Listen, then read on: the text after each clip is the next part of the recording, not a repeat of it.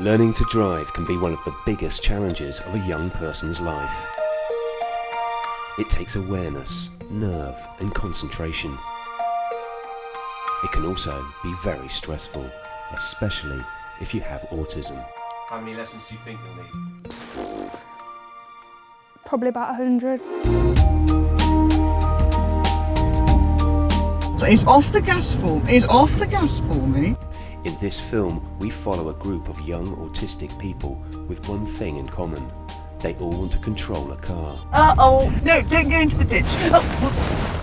I'm itching to pass. But to gain that freedom, they must first take control of themselves.